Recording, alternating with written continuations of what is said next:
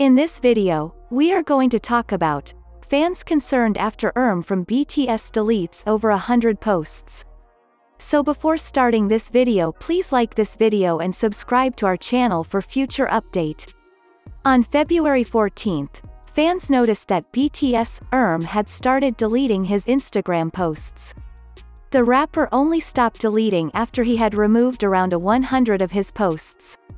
Before the 14th, his feed included a total of 130 posts, out of which only 12 remain.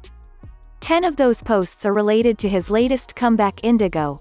The other is of him with his friend and singer John Eun and the last one focuses on the Dictionary of Useless Human Knowledge, his show with director Jang Hang-jun. According to Koreaboo, BTS members J-Hope and ERM are the most active when it comes to posting on their Instagram accounts. As RM's account is quite literally named at Archive, fans similarly saw it as an archive of the rapper's memories. Fortunately, there are some fan pages that make an archive of the BTS members' Instagram pages so RM's posts are still preserved.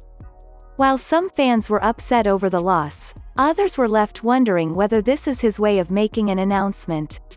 The trend of celebrities making big changes to their social media to create anticipation for a project has become quite common.